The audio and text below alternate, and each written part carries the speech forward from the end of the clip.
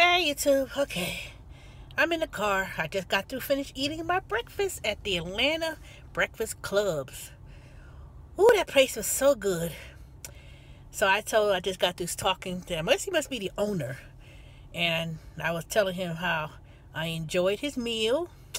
And, you know, I said, next time I come, I'm just not here just to pick up food. So he said, you know, he's glad that I came. Real handsome man, too. You know? But this place has only been open for a year. I was like, really?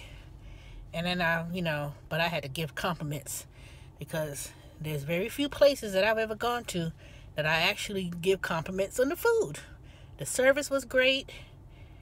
The food was delicious. I had the chicken and waffles. Now I know you couldn't hear hear me because it was so um, crowded, but this place, you know, I didn't even catch the hours, but they said they closed at three o'clock. But I was like, ooh, the breakfast was delicious. You know, so I asked him about. I said, you know, I said your waffles. It just got this, you know, this oh, it's so delicious. He says, oh, we don't just use regular old waffle mix. They make their own waffles with, um, he didn't tell me the secret. And then the chicken breast was like nice and moist. And, oh, that was the best. I'm telling y'all. If y'all saw my previous videos, you would see. But Osiris, he's the owner of the Atlanta Breakfast Club. Give you a two thumbs up, two thumbs up, five thumbs, five, all oh, my hands. Ooh, that was delicious. So we're gonna have to one day, you know, Ubele Charlotte. I know you appreciate this place. When you ever come to Atlanta, I will take you out and we're gonna go out to Southern Breakfast Atlanta Breakfast Club. You know, it's right across the street from the Georgia Aquarium and you know, the major downtown attractions in Atlanta. Shoot, hell, you can even take Uber and just come on down here. But this is a good, ooh, excellent place. I'm gonna have to keep, I'm gonna keep this place right in my mind, and I'll be coming here for breakfast. At least I would say, I would say once a, I'll come here once a month. I ain't, I ain't can't come every week, you know. But no more Waffle House for Teresa. I can tell you that. And most definitely no more IHOP. We're going to come straight back. We're going to come straight here for breakfast. So the next time, me, Giovanni, who else is my little breakfast crew that we used to always go out to eat all the time? Roy, yeah, I used to have like a, I used to have a group of people. I always go out eating all the time. And we always be sitting there, where you want to go to eat at? Where you want to go to eat breakfast? Oh, let's go to IHOP. You know, bump, bump that. We're going to start making our trips to local, you know, support local businesses. You know, that's where you can get the good value from. Good food, good service. You know, you find a spot. Shoot breakfast and lunch. I don't know what they serve for the lunch menu, but I could tell you this place looks, you know, it's a smaller place, but I could tell you it looks like it stays crowded over here. You know, it's been a long time since I ate something that good. Really, that was good. I'm telling you. The chicken breast, it was nice and moist and the Belgian waffles. It was as nice and fluffy and and the combination of the syrup with the chicken breast and the waffle. Ooh, that was good. Man, I'm so dang stuffed. I gotta go and work this off now. And and looking at all the other people's orders and plates, I didn't know what they got, but I don't know.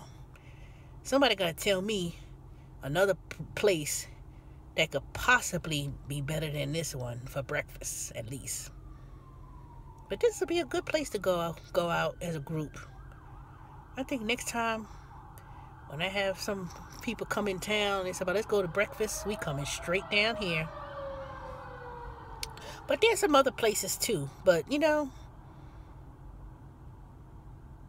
I could tell this is a black-owned business. You know, and that's what I want to support. Good black-owned businesses. You know, place that still has its, and that's a true Southern breakfast. You know, I've seen a lot of different restaurants and people try to put a Southern twist to it, but you know, they want to make grits and put, you know, all kind of crazy stuff in grits. Truffle oil with grits. And you know, they just can't make a simple breakfast. Sometimes people overdo it. Let's make it nice and simple. But I know one thing. We are coming, I'm coming back to this place again. So, Uber Charlotte, I wish you were here. I know you appreciate good food. Good little spot. And then he said he only been here for a year. Dog. Somebody need to call the Food Network channel and just come to Atlanta just to showcase this place more. But I know one thing. If it wasn't a Food Network channel or best places to eat, somebody got to put this one on the list. Because I don't know. I can't think of any other place uh, I heard two thumbs up and all the other places, but this got this place got it all. And it used to be a seafood place. No, it was a Philly and cheese steak place or something. And it says only, you know, that's what it used to be at this location, he said. I don't know why that place didn't survive, but I'm glad that this one's here.